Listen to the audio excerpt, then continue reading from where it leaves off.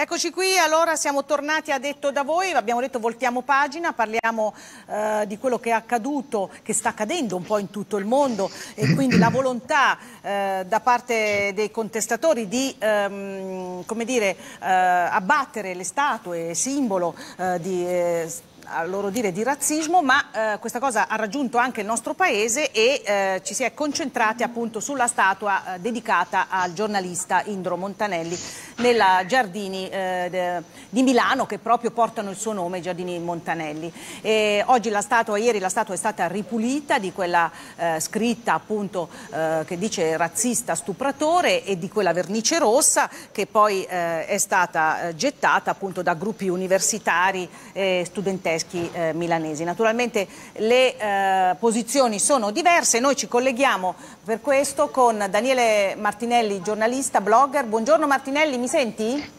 Buongiorno a voi, vi sento bene. Ecco, che ha una posizione ben precisa e dall'altra parte abbiamo Silvia Sardone, eccola qua, eh, Lega e si trova, dove ti trovi Silvia? A Bruxelles? In ufficio a Bruxelles. Sì. Ecco, perfetto, buona giornata anche a te. Allora, eh, partiamo da eh, Daniele Martinelli. Martinelli, tu hai preso una posizione molto forte no, sul tuo eh, Facebook, allora parli proprio di un pedofilo, dici Montanelli è un pedofilo. l'imputazione sarebbe quella al giorno d'oggi se un maggiorenne a carico di un maggiorenne fosse accertata una relazione con una ragazzina di 12 anni, peraltro rivendicata nel tempo, eh, non si è mai pentito Montanelli di questa parentesi di vita, Montanelli ha avuto una vita molto lunga, molto articolata, eh, con posizioni anche diverse, anche contraddittorie. Un grande narratore del, del suo tempo, del Novecento, un grande giornalista che io apprezzo tantissimo, ehm, del quale nutro anche stima professionale, però da un punto di vista umano c'è questa macchia certamente che non, lo, eh, non gioca a suo favore, appunto anche perché questa relazione lui la ebbe eh, ai fine anni 30, quando già in Italia era eh, proibito avere relazioni con minorenni, lui era già un uomo adulto di 26 anni e il fatto che il suo Shumbashi, il suo cosiddetto maresciallo, gli avesse in qualche modo ehm, consigliato di avere una relazione o comunque di essere sposato a una donna in quanto lui militare in Abissinia, ciò non toglie che il buon senso di un uomo di cultura come lui, che già all'epoca era perché era anche là da inviato del Corriere, non era sì. un analfabeta, era uno che sapeva quello che faceva. Ecco, io credo che un uomo di buon senso, giovane o vecchio che sia, non possa accettare di prendere in sposa una ragazzina di 12 anni per nessun motivo al mondo, men che meno adesso in tempi di MeToo, in tempi nei quali si parla tanto di rispetto, si parla tanto di violenza e soprattutto ci sono personaggi anche in vista come Dominique Strauss-Kahn, come eh, il regista Omar Polanski, che semplicemente per essersi macchiati del dubbio di essere stati dei, degli stupratori, dei violentatori di donne, si sono giocati la carriera. Eh, parliamo di donne maggiorenni. Figuriamoci se una ragazza di 12 anni con quale consapevolezza, con quale maturità e con quale felicità può pensare di unirsi in matrimonio a un uomo anche se vive in Etiopia. Ecco. Perché l'Etiopia è Allora insomma tu dici, eh, però voglio dire il gesto da parte dei gruppi studenteschi eccetera eh, non è stato certamente bello, no? La, la, la, no. Voglio dire non si risponde con la violenza a una situazione di quel tipo. Ecco, eh, quindi qui stiamo parlando anche di questo, eh, che, che, che, simbolo è buttare, voler gettare all'aria una, una, statua, macchiarla in quel modo? Cioè è comunque un atto violento. Sentiamo Sardone su questo. Sì, dunque, allora, um, nelle parole che ho appena sentito eh, c'era una giusta contestualizzazione, e cioè era stato detto al giorno d'oggi. Eh, quello che ha fatto Montanelli va contestualizzato eh, con eh, l'epoca dei fatti, dove le donne non avevano diritto di voto, eh, dove insomma il, il, ruolo della donna era purtroppo, perché ovviamente Caterina eh, noi eh, oggi la vediamo diversamente, era purtroppo diverso. E, e, lo dico non giustificando determinati comportamenti, ma anzi ringraziando tutti gli uomini e le donne che hanno lavorato negli anni affinché eh, ci fosse oh, davvero una parità di diritti e parità di opportunità che ricordiamolo ancora oggi in realtà non c'è Caterina. No, certo, basta guardare i numeri eh, dei, dei, dei, ruoli di potere per capire che eh, oggi... Che la lotta è eh, ancora lunga per noi donne. C'è certo. ancora molto da fare. Però è altrettanto vero che ehm, ovviamente tutto va contestualizzato. Allora, se vogliamo eh, partire dal presupposto che ehm, insomma, dobbiamo rimuovere eh, anche dal punto di vista iconografico eh, tutti coloro che eh, non, eh, non, rispettavano eh, dei diritti oggi eh, assolutamente garantiti, dobbiamo farlo per tutti. Mm. Allora dobbiamo togliere anche diciamo, le vie dedicate a Marx o ehm, o a, insomma, a Stalin o, o, a tutte queste altre persone. Eh, a Milano, vicino al mio quartiere, ci sono, mi viene in mente i giardini Francarame, ricordiamole che aveva, eh, de, eh, si era retta vicina al Soccorso Rosso. Eh, quindi mm, togliamo anche lei e, e togliamoli tutti. Eh, io mh, mm, insomma ho, un'altra, ho, un'altra, ho un altro approccio e cioè eh, io terrei le statue eh, di un giornalista importante per sì. diciamo, eh, il giorna- giornalismo e la storia italiana come Montanelli, valutandone ovviamente eh, sia le, le, cosiddette opere letterarie, ma anche diciamo, valutando i suoi comportamenti eh, in maniera negativa ma con gli occhi di oggi. Eh, non toglierei le statue. Ricordiamo che in ogni caso io trovo scandaloso eh, andare a eh, rovinare eh, statue eh, buttando vernice o scrivendoci sopra cose. Questo non è il metodo. Cioè, mettiamo anche conto che... Eh, sì, su questo siamo d'accordo, Sardone, su questo siamo d'accordo, però diciamo anche è importante non dimenticare quello che è accaduto e certo, stigmatizzare vale cose tutti, che anche no? 90 vale anni fa... Tutte, vale anche per Marx, vale anche per Franca Rame, cioè ce le ricordiamo tutti, va benissimo. Però allora, se vogliamo iniziare a, a contestare ogni singola statua, può essere, allora apriamo un tavolo facciamo, e, e rimuoviamo tutto. Eh, io ne ho una decina che mi vengono in mente che andrei a, a rimuovere, no? Cioè, ma, ma, non ha alcun senso, non ha alcun senso eh, e soprattutto non ha alcun senso eh, imbrattare la statua. Ricordiamolo che eh, dopo essere usciti dei ragazzi volontari, eh, io ieri sono passata, ieri mattina, e c'era ANSA lì a ripulire tutto, quindi l'abbiamo ripagata noi cittadini la pulizia della statua e sinceramente io non l'avrei mai toccata, non l'avrei eh. mai imbrattata, quindi eh, anzi a, a vorrei tanto che quei ragazzotti dei centri sociali fossero nati loro lì a ripulirla. Allora Martinelli, eh, c'è stata anche la manifestazione ieri delle, eh, delle, donne davanti al Palazzo Marino che eh, ce l'avevano con eh, la risposta di Sala. Sala ha detto Montanelli la statua deve restare dov'è, Montanelli è stato un grande e nella vita di, di, di ognuno di noi eh, c'è qualche errore. Allora le donne eh, lì de, de, ecco, hanno detto eh, insomma, eh, gli stupri, la violenza non, è, eh, non la possiamo derubricare come un errore. È stata un'iniziativa lodevole e devo dire oltretutto che mi meraviglia la posizione di Silvia Sardone. Sappiamo che il marito è sindaco di Sesto San Giovanni, ha avuto il coraggio di titolare una via Bettino Craxi, anche con la parola statista. Sappiamo benissimo che fine ha fatto Craxi, sappiamo benissimo come l'Italia di Craxi è arrivata agli anni 90 e sull'esempio del fatto che se qualcuno corrompe un altro o eh, fa finta di niente, di non accorgersi che c'è una corruzione, un giro di tangenti, eh, dovrebbe sapere appunto uno statista che in questo modo favorisce qualcuno e svantaggia molti altri, infatti la storia di Craxi ce la riconosciamo, infatti a Sesto San Giovanni c'è via Bettino Craxi, quindi io posso capire che lo standard di sensibilità anche di qualche politico possa essere diverso dal mio. Ciò non toglie che le donne di Milano, per loro che si sono presentate a Palazzo Marino, hanno fatto benissimo, appunto perché oltretutto io ti dico la verità, avevo già scritto tempo fa, anni fa, di questa iniziativa di mh, mm, dedicare una statua a Montanelli, io da giornalista, appunto perché nella sua biografia c'era questa macchia, questa grave macchia che non è minimamente paragonabile alle idee politiche di Carlo Marx, che non si è mai macchiato di reati di pedofilia, tantomeno di Franca Rame, che ricordiamo essere stata una donna eh, di eh, livello anche culturale, soprattutto in, integerrima da un punto di vista della condotta morale, poi uno può essere d'accordo o meno su tutte le sue scelte, però quando parliamo di reati sessuali, ancora oggi vediamo che nella stessa Chiesa ci sono dei provvedimenti di Papa Bergoglio retroattivi addirittura su vescovi certo. o su grandi personalità, su grandi prelati certo. che eh, operano nel mondo, che si sono macchiati, vengono accusati da ragazzini e la pederastia non è diversa, attenzione, da eh, un, un, fatto come quello di cui Montanelli si è macchiato.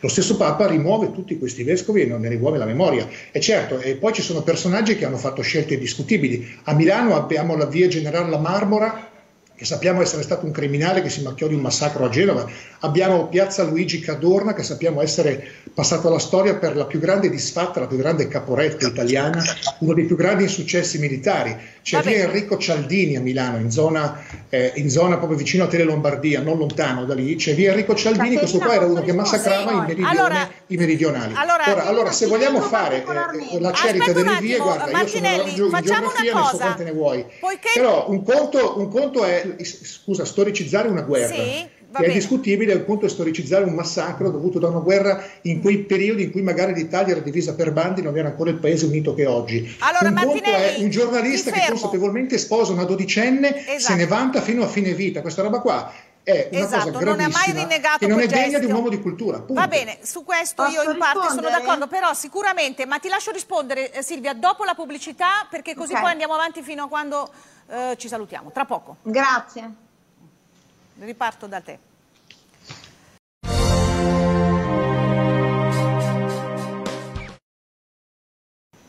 Eccoci qui, siamo tornati in diretta. Allora Silvia Sardone eh, voleva rispondere a Daniele Martinelli che appunto metteva l'accento anche su una uh, via intitolata Craxi appunto dal marito di Silvia Sardone, sindaco di Sesto San Giovanni. Mm -hmm. Silvia? Guarda eh, Caterina, mentre le ascoltavo riflettevo su quanto lavoro c'è ancora da fare per avere davvero la parità tra uomo e donna. Cioè, eh, per eh, criticare un mio ragionamento, Martinelli che si, eh, insomma, si prodiga alla difesa delle donne, eh, come lo fa? Lo fa contestando una scelta fatta dal padre dei miei figli. Cioè, scusa, ma contesta la mia. Siamo qua io e te cioè, ti rendi conto quanto dura ancora il lavoro per la parità, per fare in modo che una donna venga valutata per l'attività che svolge e per il ragionamento che sta facendo e non per le scelte del marito, compagno o altro. Che, Beh, è in linea con quello che pensa lei Silvia Sardone, suo marito. Guarda, cioè, quindi è una questione proprio di, di scelte anche familiari, quindi io capisco, io mi riferivo allo standard, allo standard di ragionamento. poi contestate. Marx era un noto antisemita. Hm? Poi possiamo dire bravissimo, per me no, ma era un noto mm. antisemita. Eh, il dittatore Tito, Togliatti, vogliamo parlare di Togliatti? non c'è nessuna via Tito al mondo. Gli orrori del comunismo? Franca Rame, cosa c'entra? Dov'è la via Tito a Milano? Era lo stesso Soccorso Rosso che difendeva i terroristi rossi lo dico perché qua mm. c'è sangue versato nelle strade. Hm? Quindi quando eh, parliamo di eh, morti, persone ammazzate, persone eh, trucidate, eh, allora magari insomma iniziamo a toglierle tutte. Quindi Marx ha trucidato gli ebrei, vogliamo dire questo? Guarda, abbiamo tutte, abbiamo via Stalingrado, via Carlo Marx, le Quindi... abbiamo tutte, no? Cioè eh, Togliatti. Ah, c'è anche via se per questo, allora, esiste anche via Salò.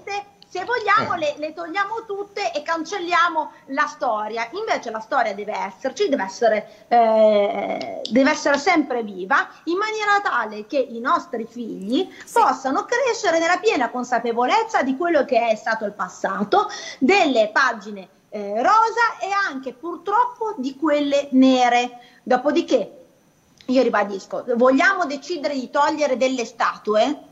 Io non lo condivido, ma è una scelta che si fa in democrazia, mh? Hm?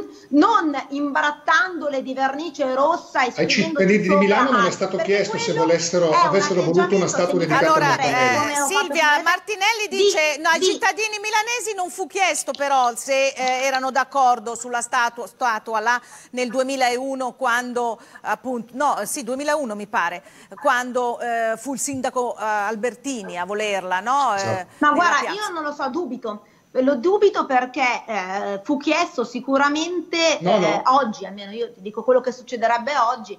Oggi no, sarebbe una scelta che passa dal Consiglio Comunale o comunque dai municipi, perché generalmente, eh, beh, quindi vabbè, di essere cittadini, passa dalle aule elettive ok? Cioè i cittadini eh, eh, eh, eleggono dei consiglieri che poi decidono in nome e per conto loro eh, se intitolare o no delle vie o, di, o insomma mettere... Facciamo un referendum anche su via Praxia Sesto per vedere un po' quanti apprezzano via Praxia Sesto di mettere qualche persona defunta nel famedia monumentale è una scelta che passa dal Consiglio Comunale. Eh, la stessa cosa quando si deve intitolare una nuova via, la stessa cosa quando si eh, intitolano dei, eh, dei, dei sì. giardinetti, quindi eh, sono scelte che oggi passano dal Consiglio Comunale e immagino anche, anche allora. Sentiamo una telefonata, pronto? Chi parla? Buongiorno, sono Anna da Milano. Anna, buongiorno, dica. Allora, eh, Martinelli ha sempre delle espressioni molto forti, io lo ascolto sempre molto volentieri, però lui è categorico lì sulla sua posizione e tutti gli altri condannati. Eh, la statua di Idro Montanelli, allora Montanelli è un personaggio di grossa cultura e su quello va comunque riconosciuta la statua dov'è. Ti racconto una storia, mio nonno aveva una compagna eh, e aveva all'epoca di Martinelli o poco prima ha fatto due figli e questo nonno ha fatto due figli e il secondo figlio l'ha fatto che aveva 16 anni. Questo vuol dire che un po' gli usi, i costumi e la contestualizzazione di quel momento, così diceva.